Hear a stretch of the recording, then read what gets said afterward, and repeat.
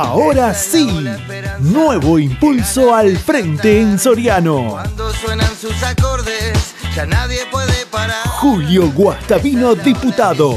2199 808. La lista de Julio y el Cita Barolín. Vení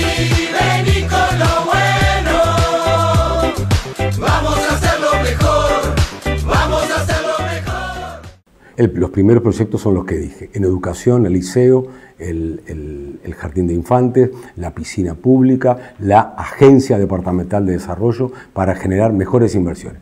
Queremos desde nuestra banca que sea una banca de la Diputación para todos los sectores de Frente Amplio y para todos los sectores y partidos políticos de la sociedad.